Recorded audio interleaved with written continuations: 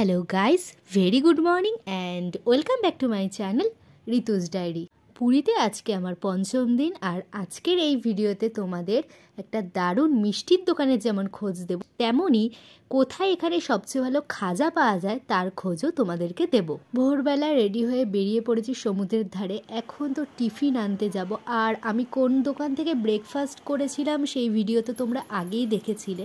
তো আজকে আমি মিষ্টি কিনতে যাব। কোন দোকান থেকে কিনছি সেই সমস্ত কিছু ডিটেলস তোমাদেরকে দিয়ে দেব। তোমরা যারা আমার ভিডিও আজকে প্রথমবার দেখছ, তারা অবশ্যই সাবস্ক্রাইব করে দিও। আর ভিডিওটি ভালো লাগলে একটা লাইক দিয়ে দিও। আজকের ভিডিওটা তাহলে এখান থেকেই শুরু করছি। পুরীতে তোমরা যে গলি দিয়েই ঢোকো না কেন, সব গলিতেই কোনো না কোনো মন্দির রয়েছে। আর সেই মন্দিরগুলো অপূর্ব সুন্দর। এখন আমরা যাচ্ছি বাজারের দিকে। বাজারে গেছিলাম টাটকা কিছু মাছ দেখার জন্য। এখানে পার্শে মাছ ছিল। আরও অনেক রকমের মাছই ছিল। এখন আমরা চলে এসেছি সেই মিষ্টির দোকানে, যেটা ছিল বাজার ছাড়িয়ে এসে একটা মোড়ের মাথায়। এখানে বিভিন্ন রকম মিষ্টি পাওয়া যাচ্ছিল, যেটা ছ টাকা থেকে শুরু। আমার তো সব মিষ্টিগুলোই দেখে পছন্দ হচ্ছিল। আমরা নিয়ে নিয়েছিলাম গুড়ের রসগোল্লা, যেটার দাম ছিল দশ টাকা পিস আর লেডি কিনি, যেটাও ছিল দশ টাকা পিস একটা বিশেষ জিনিস দেখলাম, সেটা হলো ছানা পোড়া, যেটা একদমই কম মিষ্টি ওরা বলছিল। সেটার একশো গ্রামের দাম ছিল তিরিশ টাকা। এই সেই ছানা পোড়া যেটা আমি টিফিনের জন্য নিয়ে এসেছি, আমার কিন্তু খেতে দারুণ লেগেছে। আর সাথে ছিল পেটাই পরোটা আর তরকারি, যেটার মধ্যে আলু বেশি ছিল, মটর কম ছিল। টিফিন খেয়ে নিয়ে আমি এখন ছাদে উঠে পড়েছি। আমরা যেই লজটা ছিলাম, সেইখানে ছাদে উঠলেই পুরীর মন্দিরটা দেখা যায়। অনেকটাই দূরে তাও বেশ ছাদে ওঠার পরে দেখা যাচ্ছিল। আর এই পাশে রয়েছে গোবর্ধন মঠ, যেইটার ভিডিও তোমরা অলরেডি দেখে নিয়েছো। এখন নিচে রান্না হচ্ছে মাংস।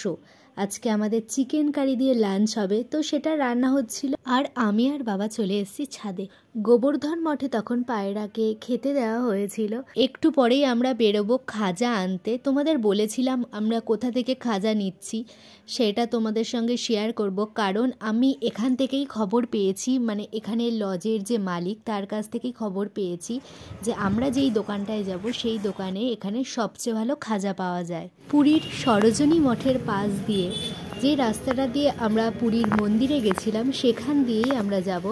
খাজা আন পুরীতে আসলে ঘিয়ে ভাজা খাজার যে আলাদা একটা গন্ধ রয়েছে, সেটাতেই মন ভরে যায়। আমরা এখন মার্কেটের মধ্যে চলে এসেছি, এখান দিয়ে কিছুটা পথ গেলেই ওই খাজার দোকান পড়বে। অবশেষে চলে এসেছি আসল নৃসিংহ সুইটসের সামনে। দোকানের সামনে অনেকটাই ভিড় ছিল। সমস্ত ভিড় সামলে আমরা সামনে যাওয়ার চেষ্টা করছিলাম। এই দোকানটা ওল্ড নৃসিংহ সুইটস নামেও পরিচিত। মন্দিরে যাওয়ার পথে রুচিরা হ্যান্ডলুমসের অপোজিটেই রয়েছে এই আসল নৃসিংহ সুইটসের দোকান। আমরা ঠিক করেছিলাম ঘিয়ে ভাজা খাজাটাই নেব। তো এখানে চারশো চল্লিশ টাকা যে ঘিয়ে ভাজা খাজাটা ছিল, সেটা দারুণ খেতে ছিল, ওটাই আমরা নিয়ে নিয়েছিলাম। এখন আমরা চলে এসেছি ওড়িশা হ্যান্ডলুমসে। এখান থেকে কটকি শাড়ি নেওয়ার ইচ্ছে ছিল। এই দোকানটায় কিন্তু অনেক সুন্দর সুন্দর শাড়ি আছে, আর তার সঙ্গে সব কিছুর প্রাইজও দেওয়া আছে। ওড়িশার কটকি আর সম্বলপুরি দুটো শাড়িই কিন্তু খুব বিখ্যাত।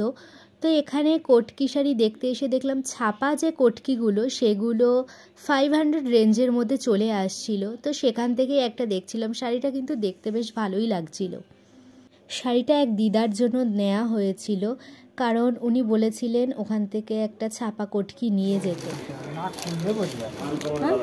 না খুললে বোঝা যাবে পাটটার সঙ্গে সবসময় ব্যবহৃত গামছাগুলোর থেকে পুরীর গামছাগুলো কিন্তু অন্য রকমের হয়। দোকানে আমরা কিছু গামছার কালেকশানও দেখছিলাম। এই দোকানে গামছার রেঞ্জ শুরু হচ্ছে ষাট টাকা থেকে। এই গামছাগুলো রয়েছে সত্তর টাকা করে। বেশ অন্য রকম দেখতে কিছুটা চাদরের মতো। পুরীতে গিয়ে পুরীর বাসন কেনা হয় না এরকম মানুষ খুব কমই আছে। আমাদের আগেরবার যখন গেছিলাম, তখন কিছুই কেনা হয়নি, কিন্তু এইবার ইচ্ছে হলো পুরীর কিছু বাসন কিনি। আমরা এই বাটিগুলো দেখছিলাম, সাথে একটা কৌটোও দেখেছিলাম। বাটিগুলোর দাম পঁচাশি টাকা করে লেখা ছিল। বাটিগুলো নেওয়া হয়েছিল পঞ্চাশ টাকা করে, আর আমরা যে টিফিন কৌটোগুলো দেখছিলাম, ওগুলো এক একটা সাইজের এক এক রকম দাম। মা বলছিল, এই ছোটোটা নেওয়া যাবে না, কারণ এটার মধ্যে ইলিশ ভাপা করলে ঠিকঠাক হবে না। চিংড়ি ভাপার জন্য ঠিকঠাক আছে। তো আমরা লাস্টে যে কৌটোটা নিয়েছিলাম, সেটার দাম পড়েছিল একশো সত্তর টাকা, যেটা কিন্তু খুব সুন্দর দেখতে ছিল। সাথে নিয়েছিলাম চাল তোড়া যে কুনকেগুলো হয়, সেইগুলো। তোমরা যারা পুরীতে যাবে অবশ্যই দরদাম করে কিনবে, কারণ এখানে দাম একটু বেশিই চায় চলে এসছি সমুদ্রের পাড়ে। সমুদ্রের জল এতটাই ঠান্ডা ছিল যে আমরা স্নান করেছি কম, আর বালি নিয়ে ঘাটাঘাটি করেছি বেশি।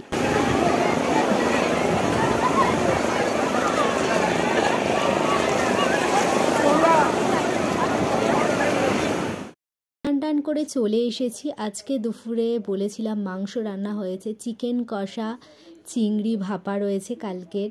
আমার জন্য যেটা। আর হয়েছিল ডাল, সাথে ছিল পাঁপড়। এখন আমি কোথায় চলে এসেছি আশা করছি তোমরা বুঝতে পারছ। আমি এখন চলে এসেছি সেই গোবর্ধন মঠে, বিমলা দেবীর মন্দিরে। চলো ভেতরে যাওয়া যাক। ওখানে তখন প্রার্থনা হচ্ছিল। বেশ কিছুক্ষণ মন্দিরে কাটানোর পর এখন আমরা বেরিয়ে যাচ্ছি।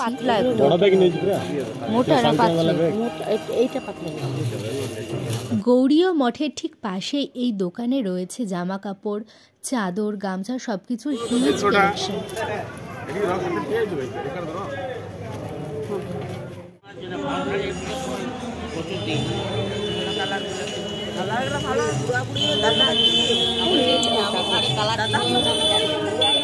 গৌরীয় মঠে তখন চলছিল পুজো, তাই অনেকেই ঢুকছিলেন সেখানে।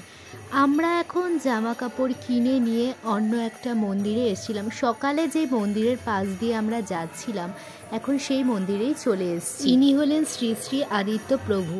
তুলসী মঞ্চকে কেন্দ্র করে যেখানে কীর্তন হচ্ছে, সেখানে রয়েছে শ্রী শ্রী হরিদাস ঠাকুর সমাধি।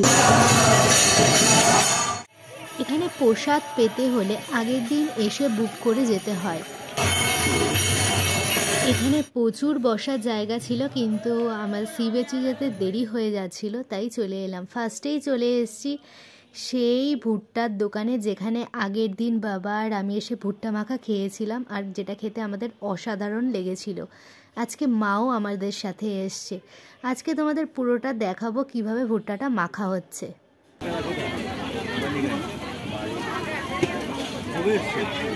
আমরা কালকে যাব গিয়ে। প্রথমেই সেদ্ধ করা ভুট্টাটাকে ছাড়িয়ে নেওয়া হলো।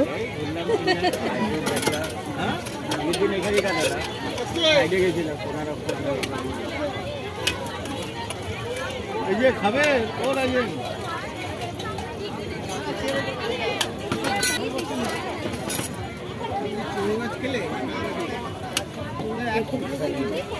এটাই করো হ্যাঁ?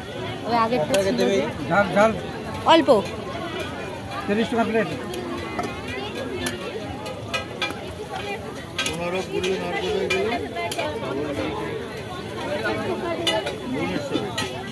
হ্যাঁ এলাম।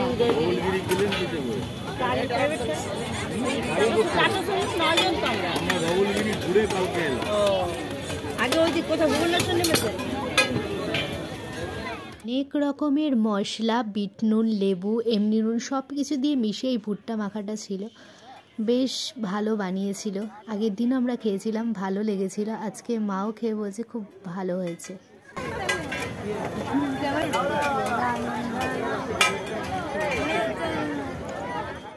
এই যে মুক্তোর মতো দুলগুলো এইগুলো আমার এখন সবসময় দরকার হয়। তো এখান থেকে দুটো দুল নিয়ে নিলাম নিজের জন্য। বাবা আবারও চলে এসছে, এখানে চা খেতে লাগছে। এ কদিন এখানে ঠান্ডা ছিল না, সমুদ্রের হাওয়াটা বেশ ভালোই লাগছিল। তবে আজকে একটু ঠান্ডা ভাব আছে। আমরা এখন চলে এসেছি সি বিচের ধারে, তিনজনে কিছুটা গল্প করব বলে। কারণ আজকেই আমাদের এখানে লাস্ট সন্ধে, কালকে বিকালের দিকে আমরা বেরিয়ে যাব এখান থেকে। আমি চলে গেছিলাম সমুদ্রের ধারে পা ভেজাতে, কিন্তু জল বরফের মতো ঠান্ডা ছিল, ওই জন্য এখন আবার চলে এসেছি। এখন আমরা লজে ফিরে যাব। ডিনারে আজকে রুটি ছিল না, ছিল ডাল, পাঁপড় ভাজা, মাংস, এই সব কিছু যেগুলো আমরা সকালেই খেয়েছিলাম আর সাথে এক্সট্রা করা হয়েছিল যেটা, সেটা হলো বেগুন ভাজা। এখন অনেকটাই রাত্রি, প্রায় সাড়ে বারোটা বাজে, আমার কিছুতেই ঘুম আসছিল না, তাই করিডোরে আমি পাইচারি করছিলাম। আজকের ভিডিওটা তাহলে এখানেই শেষ করছি। দেখা হচ্ছে পুরী ব্লগের লাস্ট পার্টে আজকের মতো, টাটা।